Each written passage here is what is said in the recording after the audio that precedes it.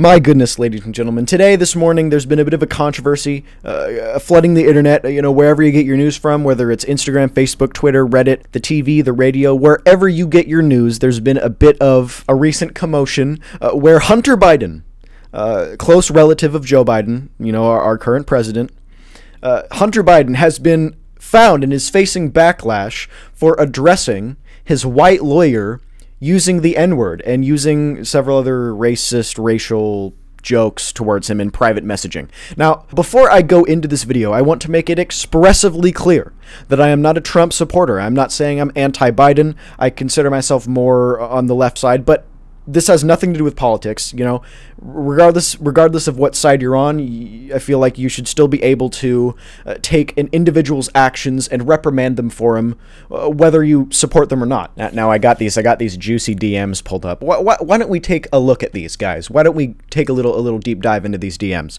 Uh, well, thank you, Michael Cohen. His lawyer sends him a middle finger for some reason.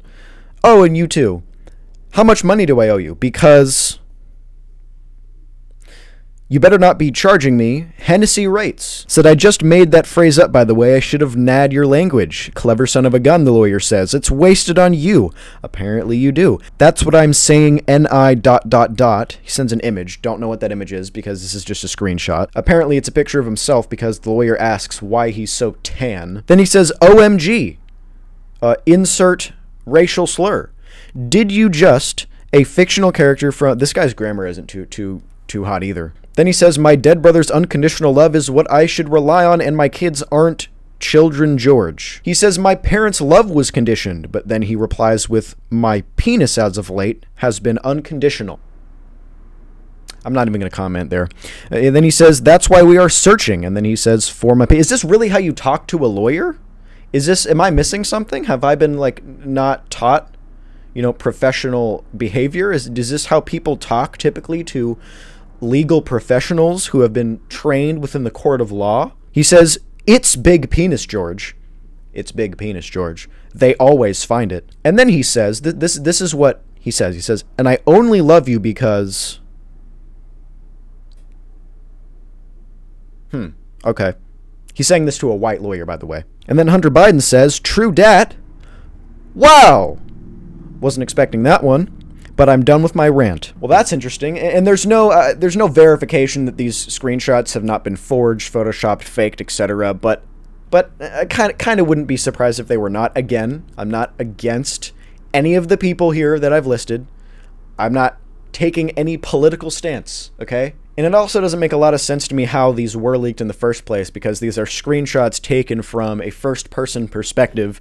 These screenshots are taken from the perspective of somebody who sent them so I don't know how that even came to be. And and a conversation with a lawyer typically, if they're discussing legal proceedings and things like that, it, it typically isn't uh, delivered in ways like this, where it can be so easily exploited.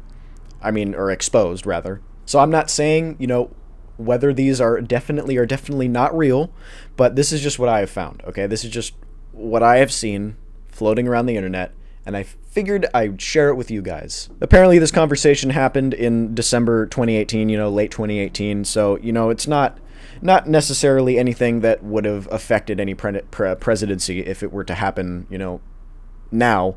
But that's just that's just messed up. That's just messed up. Why would you talk why would you talk to anybody like that, but let alone a lawyer? A lawyer. Uh, uh, I don't know. I, I don't know. I don't even know what to say about this the fact that he referenced his deceased brother in this entire fit is also kind of questionable as well. Kind of pretty disrespectful too, especially when you're using that language within the same sentences ref referencing your deceased family members.